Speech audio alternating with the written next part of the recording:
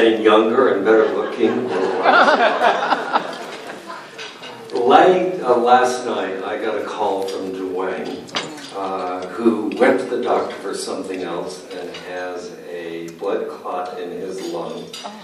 And so they hospitaled him, uh, hospitalized him, and called me, and I met a friend, and we found his script.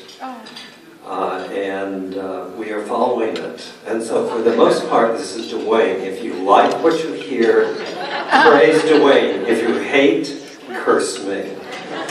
Uh, some people say we've got it so late, but I really don't mind. When I was a child, I quit playing hide and seek because when I would hide, no one would try to find me. so at least I got picked for something. Dwayne also said that rather than visits, money would be appreciated.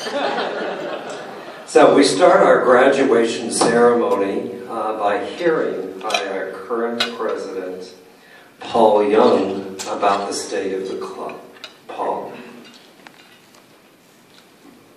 Thank you very much, Glenn. Um, it's been a real honor for me to serve this last year. Uh, just a great experience, an invigorating experience. So I've been telling people. Um, but what, what a wonderful club. Uh, a year ago, I, in talking to the club, I uh, talked about what a fantastic club we have. And then mentioned that, you know, with the great people we have and the great numbers of people we have, if each, each one of us could do just a little bit more, whether it's take a little more time to serve in Rotary, or if you don't have enough time to serve more, the time you have to try to serve a little more effectively, that we could have an even more fantastic year. And I've certainly experienced that and witnessed that. Um, I really debated about mentioning names and committees, but I, I, can't resist. I just can't resist. So I'm probably going to miss many, many folks and some of the committees, but I apologize. But um, boy, we've got we've so many fantastic things that go on in this club. Um, well, appreciate the Welcome Committee, Deborah Hoyt, the Sunshine Committee with Terry Jensen, Arts Committee with John Ashton, Steve Buchholder for the prayer and thought that he arranges every week, uh, Skip Daines for music, uh, and Ardean Watts, Sergeant at Arms, Henry Wirtz, Julie Blanche was Constitution and Bylaw Committee Chair. And these are just the chair people and the, the wonderful committee members who serve with them. We are so grateful for all they're, they're doing. Um, Rotaract, Rich Nordland has done a wonderful job. We have a strong, great Rotaract club, and that's been a great thing to have this year. Um, John Holmgren, our Interact, which is our high school group. We're looking forward to rejuvenating uh, the West High School Interact Club this upcoming year, so that's a fantastic thing that's been accomplished. Um, Jeff Hatch, and of course Ted Stagg was our treasurer uh, for the first six months of this year, and Jeff Hatch uh, was asked, volunteered, and coerced into filling in for the second six months of the year. Appreciate all of their fantastic efforts. Our finances are good. Our budget is tight, um, but we uh, uh, we're, we're, we're all right. We're going to be all right. And one of the one fantastic, um, um, great things, of course, was the, the gala, which was such an amazing event the year before. And this year we are reaping many of the blessings and benefits of that fantastic event because um, many of the funds used in the gala were utilized this year to help us continue the fantastic work of the club this year. Um, so much appreciate uh, Linda in the office and her energy and her great commitment to, uh, to the club.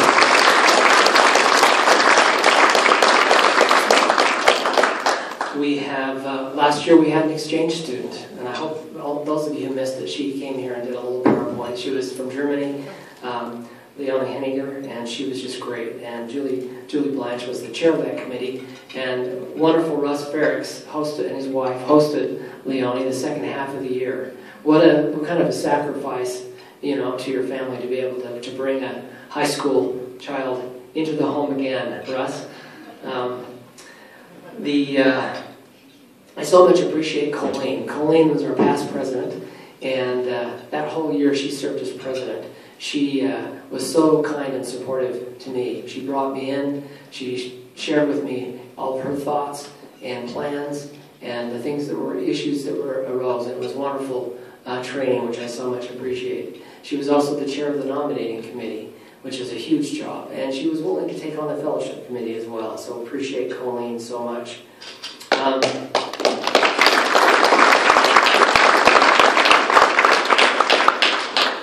we have an amazing environment parks committee, and Sophia Keller her group, they, they do so much. There's going to be a wonderful rotary bridge erected over the Jordan River coming up. We're, we've got a great project going on at Rotary Glen. Um, one of the, the, the fun activities uh, that we have this year, we're just uh, planting some trees just west of the, the uh, Jordan River, and uh, just, just fantastic activities. Um, we have uh, wonderful folks working on membership, and um, this year we had a total of 29 people join our club. I don't know, we don't usually talk about those numbers, but 29 people joined our club this year. Um, membership, however, is still a challenge, and so we need to continue to focus. And uh, I am convinced that each one of us have at least one wonderful person who is a Rotarian and just doesn't know it yet. so we're, we're looking for, for great people to join, join with us. Um, one of our new members this year, I had, got to know, uh, just as an example, is, is, Devin Thorpe, who's right here. We were uh, uh, planting trees together, and uh, what, a, what an amazing, interesting man Devin is. And I, am sure all of you got to read the article that he submitted to Forbes about Rotary, and uh, that's just one example of just one of the some of the fantastic members we have as, as you get to know each other and serve with each other in, in the committees. Um, we have our uh, high school scholarships, our service above self scholarships, and thanks to Brett Sutherland and his wonderful committee for doing that. Pearl Wright has been our PR committee chair, and you got to look at our website. It's changing, it's improving, and we and appreciate all the efforts of the PR committee. Um, our peace uh, peace committee and Brian Farr. If if you haven't um, gone to the website that was created this year. It was a combination district and our club project created uh, by Brian Farr and the folks that work with him, Three Clicks to Peace. It is an amazing website. You need to, you need to take a look at that. Um, our Salt Lake Foundation Board has done wonderful work this year. Um, our Rotary Foundation Board um, did an amazing job this year. So much appreciate uh, Roy House and qualifying us as being the District Club of the Year for, for the Rotary Foundation. So thank you.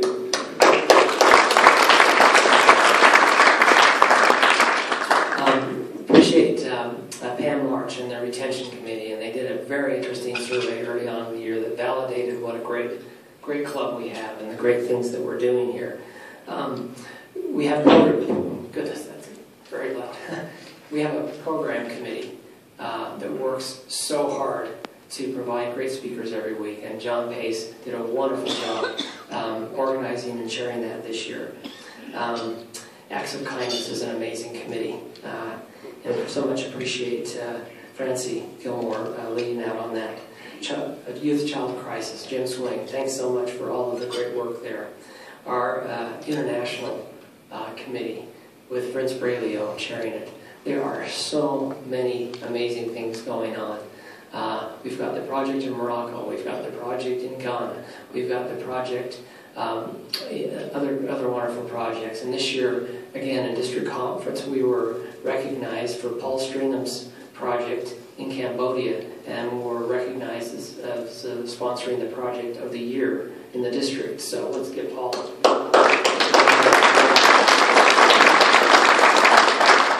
Um, our School and Education Committee, Franklin and Bryant, that's an, that committee is like a club in and of itself. And they, Steve Iyer and the wonderful people who work there have done just a wonderful job.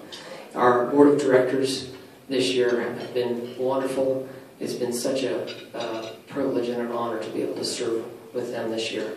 And appreciate each one of them. Um, there was a, a a card that Linda Cruz ordered from uh, Rotary International. Um, and some of you may have seen these before. I just love what it says. Rotary is the world's premier international humanitarian service organization. We are a diverse global network of community, business, and professional leaders who address relevant social causes to change lives and build goodwill and peace at home and abroad. Salt Lake Rotary Club, uh, that's a description of our club as well as all of Rotary. Um, I was uh, uh, talking to Marv Marcus, and I, I, think as you, as you remember, um, Marv uh, brought uh, Marv Arendt to our Rotary meetings because Marv wasn't able to drive to get here on his own. And uh, I'm kind of glad, I don't think Marv's here. Um, I talked to Marv about it because you know you see him bringing, uh, bringing Marv um, every week to Rotary. I said, well, I kind of assumed maybe they were good time friends, very close neighbors. Um, they knew each other, they're acquaintances. But as I talked to Marv, come to find out, he just saw a need.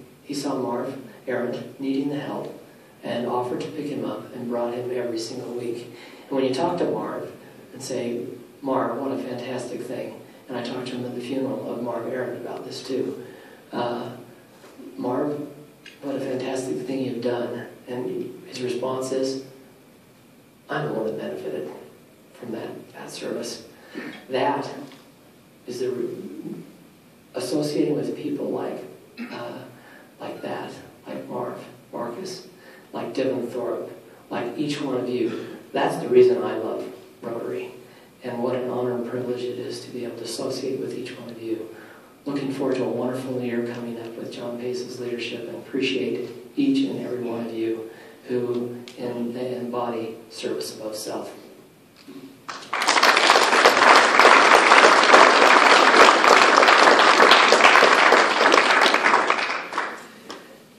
Uh, we will do this waves. We will first honor our graduates, then our upperclassmen, then our freshmen, and then finally the President's Club.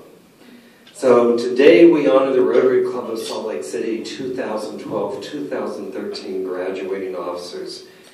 We're not sure what they're graduating from or where they're commencing to, but they are leaving.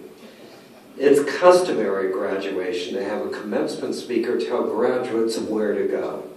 We'll skip that custom today. A commencement speaker is like the body at a funeral. He's supposed to be there, but nobody expects him to say much. Our graduates don't need advice. They're already experts. Just ask their partners, their children, their lawyers. It is also customary when you graduate to party all night. Uh, good luck with that. And in my day, graduates often went into to drag State Street. Now drag has a whole new meaning.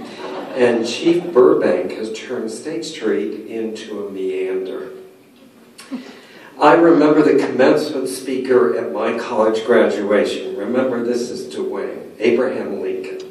He caught the spirit of today's graduation when he said, The world will little note or nor long remember what we say here. As he graduates these officers, we not only note, but will remember their leadership of Rotary through another successful year. The tassel's worth the hassle. So, I would like President Young to stand and hand the diploma as you come up, if you will turn your tassel from right to left. and uh, the first person we would like to honor is Ted Stagg. And we wanted to do that because Ted Stagg was our our treasurer for a year and a half, and then he went off to teach managerial accounting at BYU Hawaii. I did some research on this and actually found out that was not true, that he was a Speedo model. And um, when I called him this morning to ask him a few things, I referred to him, as I usually do, as Your Highness. And I said, is there something? And he says, you pretty well honestly said it all. Um, he is a retired CPA, has five children and nine great-grandchildren. Uh, he loves pretty women, running, boating, water sports, and his favorite place is Lake Powell, and I have never been invited by him. Thank you, Ted. Congratulations. The next person is not here today. It's Julie Blanche, uh, Vice President. Uh, we had a questionnaire that each officer was invited to fill out. We again requested that they list a credit card so that they could be charged in case this year's budget ran short. I'm sorry to report that Judy, Julie was not willing to give us a credit card information. Julie is a law partner in Snow Christensen and Martineau, and I have to say I, I like her a lot. Uh, and it's sad, but you know, 99% uh, of lawyers give the 1% a bad name. Um, fulfilling a childhood goal of becoming a lawyer when she grew up. When you probably didn't know is that Julie has run about 50 marathons. 50. You'd think she'd be shorter than she is. When Julie first started in her firm, clients came and asked her for her age. Julie responded that she would answer three questions for $300, to which the client asked, That's awfully steep, isn't it? Yes, Julie said. And the third question is? Julie has an axiom she lives by. The sooner you fall behind, the more time you have to catch up. Don Bradshaw, Vice President, is the next person we would like to graduate. If this questionnaire answer as to what's your credit card number isn't bogus, uh, we've overrun expenses for this dinner today, so you will notice several thousand dollars missing, and thank you, by the way. Don's um, college major was business, so it was logical that he founded the American Insurance Investment Corporation, of which he was chairman. If you should run into him on most Saturdays, however, you will see him at his farm in bib overalls, working on his tractor. Since retirement, he has made the following observation. Monday is an awful way to spend the seventh of your life. Thank you, Don.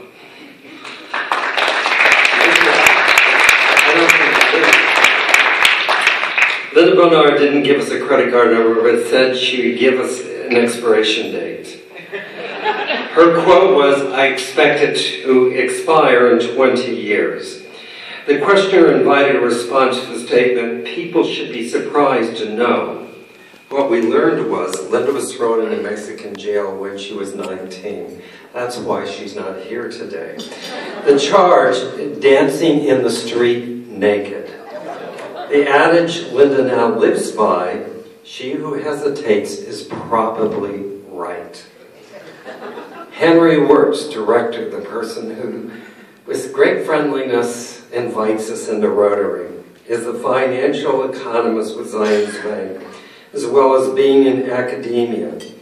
Henry is not originally from Utah, so when he got here, he was taught how to pronounce and spell Tooele, Duchesne, Scipio, I hope I'm saying these right, and Moab. Scipio. Okay.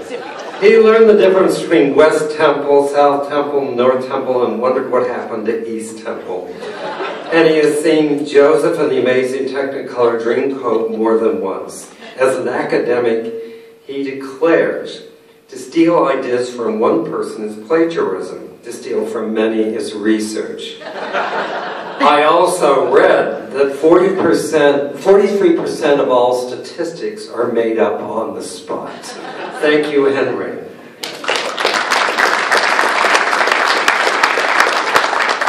Colleen Maloof, past president, leaving the board. As a child, she knew she grew up, she wanted to be the boss of something. We know she achieved those goals being the just retired CEO of Friends of Sight as well as president of Salt Lake Rotary Club. Uh, obviously, we're going to show some pictures of her, uh, but since Dwayne's in the hospital, I thought I would bring some 35 millimeter slides that I'd like to show you. This first one is in a college classroom. Colleen majored in business administration and marketing, was the only female in the class of 33 males. Okay. The next one is this other one was taken when she was co-ed as she observed men smiling at her and briefly closing did uh, her one eye and she thought it was a tick but it was actually a wink. But it started her thinking of friends of sight. Colleen is thinking of writing a book. It will be titled Chicken Soup for the Rotarian. Thank you Colleen.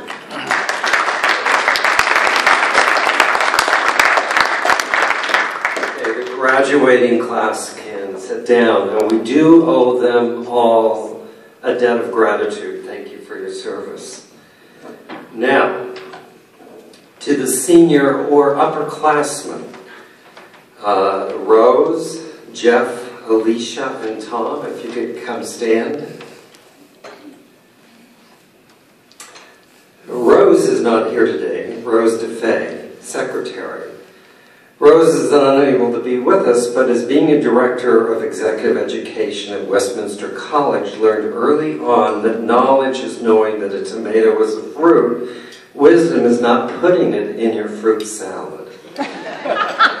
Coming from academia as she does, Rose was appreciative of the story of the child who took her report card and showed it to her mom the mother was very disappointed by the way of very low grades. Look on the bright why. Let's talk about who this is really about. Look on the bright side, Rose said. You know, for sure I didn't cheat. People would be surprised to know that Rose used to compete in endurance races. Jeff Hatch, if you will come in the center here. Treasure. Now, he graciously accepted uh, six months in advance to be treasurer and is already serving us when our illustrious treasurer went off to be a Speedo model. Um, Jeff is the treasurer of Salt Lake County's former auditor and in a prior position was president GM of KUTV. It was during that period that he observed the evening news is where they begin with good evening and then pre proceed to tell you why it isn't. As a child, Jeff would never play hide and seek because nobody would look for him. That was my line. Jeff is a graduate of Stanford University who started as a chemistry major and finished in communication. In one of his statistic classes, Jeff learned that if a person stands with his right foot in a hot stove and his left foot in a freezer, on the average, that person is comfortable. People would be surprised to know that the former auditor has a hard time remembering numbers because he deals with so many in his work. Uh, in family accounting, his work. So he quit trying to remember them and all and only remembers where to find them. He also gave me a, a great bit of advice. He says, never loan money to an optimist, only to pessimists because they don't believe they'll get paid back anyway. Welcome, Jeff. Alicia Bremer, Director. As president of Bremer Public Relations, she early on observed that the brain is a wonderful organ. It starts working the moment you get in, up in the morning and it doesn't stop until you get to the office. There's one, no one better than Alicia for strategic communication planning or crisis communication planning. Rotary is not her only outside activity. She just retired as chair for the U of U College of Nursing. What we did know about her is that although she lived over 30 years in Utah, she's a native of Chicago. It was while growing up in Chicago that she learned that the early bird might get the worm, but the second mouse gets the cheese. I'm not sure. it's above me, Alicia. Tom Thatcher, director, was general manager of Thatcher Pharmaceutical until this year when he started his own company called Intuitive Funding, whose purpose is to help young startup companies. As a child, Tom wanted to be a sports announcer. As a young, at a young age, he endeared himself with his mother when he drew a football field with permanent magic marker on her new carpet so he could practice game announcing. You see, you've gotten worse. Tom is never happier than when he is playing golf or watching the Masters and the U.S. Open Golf Championships. Following a close call auto pedestrian accident while serving on an LDMS mission in Japan, he learned you do not need a parachute to skydive. You need only need a parachute to skydive twice. Thank you. And now our freshmen. Russ Ferricks, uh, Glenn Lambert, Director, Steele Larson, and Rick Barnes. I don't want to read mine. Glenn Lambert, our incoming vice president, was executive director of Odyssey House of Utah uh, for 31 years, now retired to provide practice as a licensed clinical social worker. He's a professor at the U of U Graduate School of Social Work. An interesting fact to learn is how smart he is. With a BS degree from BYU in sociology, he made the dean's list, graduated cum laude, and from the U of U earned a master's in social work, graduating magna cum laude, and was a member of Phi Kappa Phi. A couple of years ago, Glenn conducted some of our Rotary meetings. They were most unique and memorable. What we didn't know about him was that he was a polio poster boy along with his twin brother when they were five. Most people list Costco as a favorite place to shop. Glenn lists the continent of Asia. He's in the process of writing a book. It's to be titled The Seven Habits of Highly Successful Rotarians. Thank you. Thank you, Dwayne. Russ Ferricks, um, another lawyer I like, I think, is a shareholder in the law firm of Richards Brandt, Miller and Nelson. He graduated cum laude with a BA from Claremont Men's College and later graduated from the U of U College of Law. He was named Young Alumnus of the Year in 1994. When he retires in about 50 years, he plans to travel America and visit every national park. What we're surprised to learn is that he is a folk music guitar fan, has flown an airplane, driven a motorcycle, trained as an airborne ranger, and served as an armor officer in the U.S. Army. Wow. wow. A motto Russ lives with is, two wrongs are only the beginning. Steele Larson, director, is a sales ambassador with O.C. Tanner. We recognize him mostly for the service on the membership committee. You remember he has to count the ballots each week and go through the tedious jobs of sorting the yeses and noes. I, I sit on the edge of my seat worrying that someone won't get elected. Uh, and what is the outcome? Um, he recalls early at an OC Tanner when he was managing store maintenance that he gave a young man he just hired a broom and told him, your first job will be to sweep out the store. The young man said in dignity, but I'm a college graduate. To which Steele said, oh, I'm sorry. I didn't know that. Here, give me the room and I'll show you how to do it. his motto, as he always lives by, is if at first you don't succeed, destroy all evidence that you tried. Rick Barnes is a director, not here today. Is CEO of the Greater Salt Lake Council of the Boy Scouts of America. He's excused today because he's attending the scout camp. They are, this is Dwayne, they are deciding what kind of entry to put in next year's Pride Parade. Dwayne Yancey made that up. As a child, he wanted to be a doctor when he grew up, but his college major was zoology, in which he received his BA from BYU, following by a master's in youth leadership. Rick's hobbies include gardening, racquetball, reading, kayaking, and scouting. He's been a Rotarian for 16 years in three different clubs. Now, let's present our president's club. Mike Deputy is soon to be president-elect. Uh, is president and principal stockholder of one do you want to stand up, Mike, so people would know who you are? Oh! I'm always so worried that Mike will be lost in the shuffle. I wanted to make sure you stood so you could see him. Mike Deputy is the president and principal stockholder of one of the largest trailer and refrigeration dealership in the country, Utility Trailer Sales of Utah. When he was a child, he wanted to be a basketball star when he grew up. He studied electronics technology at BYU. You'd be amazed at all the iPhone apps he knows. Mike's very obvious hobby is singing barbershop harmony with the Society for Barbershop Quartets. You won't be surprised to learn that his favorite place to shop is Rochester Big and Tall. Mike has served on a variety of industry and charity boards, including the Utah Trucking Association, the World President's Organization, the Westminster College Foundation, and at 6'9", he is president-elect we can look up to.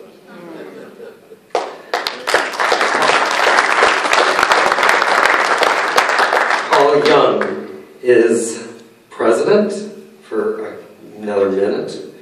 Paul Young is executive vice, if you're giving it up, if he decided to give. I was afraid we'd have drama and he would actually push John off the. Um, he's vice president of a young electric sign company. Paul says that when people ask what he actually does, he replies, That's what my brother Mike always asked me. Even as a child, Paul always wants to be a sign man. In his position as executive vice president, he has learned work is accomplished by those employees who have not reached their level of incompetence. The questionnaire asked had he purchased a cemetery lot, to which he answered no, but he's been thinking more about that kind of thing since a friend told him that he had bought caskets for himself and his wife from caskets.com and had them stored in his barn. Paul's hobbies are church work, Boy Scouts, water and snow skiing and backpacking. And what we're surprised to learn is that he just bought, is it a euphonium? A phonium. Impressive. It's a brass musical instrument that plays in about the same range as a trombone, but looks like a brass horn, only smaller. I would personally, with all of us, like to thank you for your great year of service.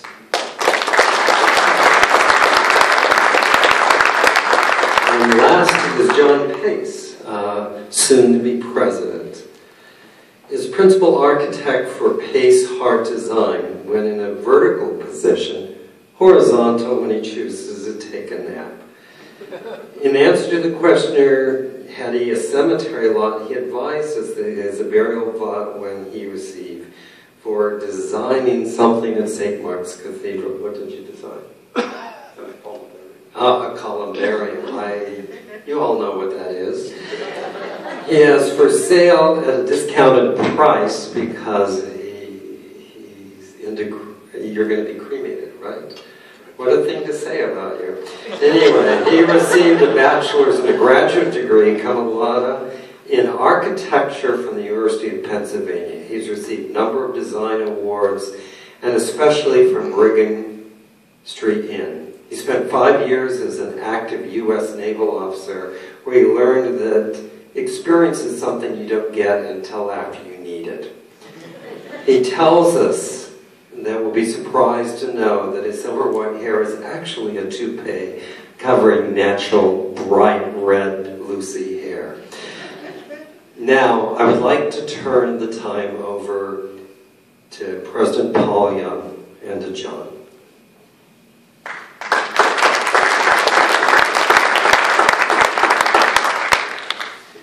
Let me just say, is uh, I've known John for many years uh, as we've served, served together in this in this great club, and uh, I just don't know of anybody that's more devoted to the club, more devoted to Rotary, and we have a wonderful person, John and John Pace, to become the president of this club. So it's with great honor that I uh, install him as the president of the club. We do this rather sim simply by taking this pin, which only worn for a total of about an hour or two because this is the um, president's pin that was worn by Richard L. Evans, who is, of course, past president of our club and uh, who became the Rotary International president and a revered uh, humanitarian, church leader, and Rotarian known the world over. So this is a, just a wonderful honor um, that the president of this club um, gets to have while um, serving as a president. So John, let me, let me do this.